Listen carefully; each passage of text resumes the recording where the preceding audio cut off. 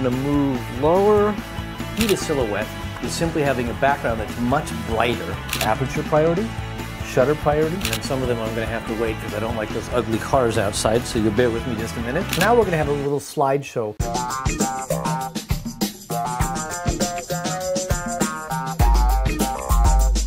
There's a reason photographers use the expression dead center because when you put something in the center, it tends to be static or dead. So here, for example, a few of my images showing you how I'm using the rule of thirds. As you're taking your image, imagine that grid that we just described is inside your viewfinder. And then as I keep turning, that reflection will slowly go away.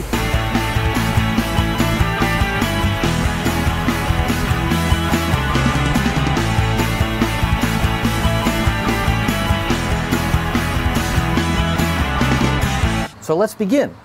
Meet me in the Digital Photo Academy library.